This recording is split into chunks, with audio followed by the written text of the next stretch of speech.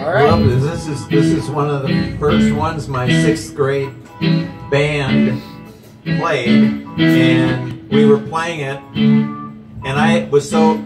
My father had just a polka band drum set, so his things were like little cymbal stands here, little uh, uh, splash cymbal, Yeah. you know, Dixieland. So I didn't have a real uh, cymbal stand. I used a, a Like a music stand? stand, and I Oh. crimped the top of a music stand and stuck the cymbal on there. but you know those little metal cymbal stands are so weak, so Holy right word. right in the middle of that of, of Born to Be Wild, the cymbal stand just fell over. and Everybody That's perfect though. What's going on? And then we just picked it up.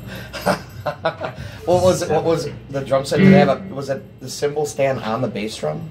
No, it was Oh. on the oh. floor, but I Oh, you it, had a- it was just a music stand like what Nick has, just a Oh. real, without the top. Okay. And I just stuck the cymbal on top.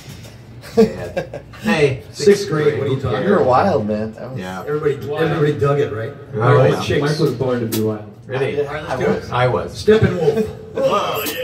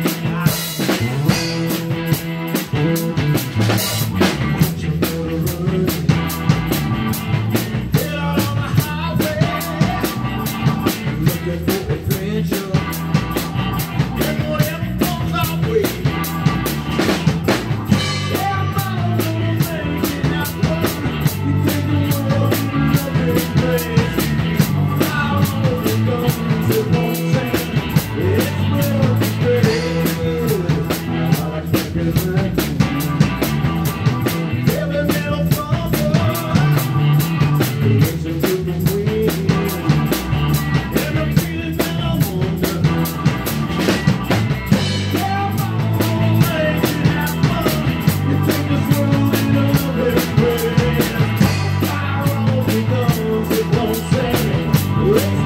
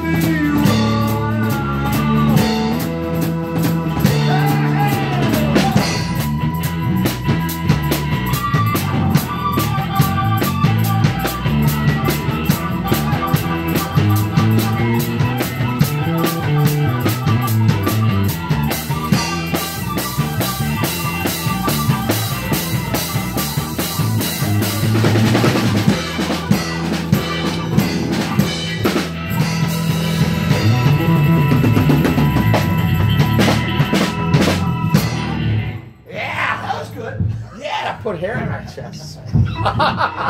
Hey, I'm talking now. You do, man. Man. Man, you sound good on that, Johnny. That's, that's awesome.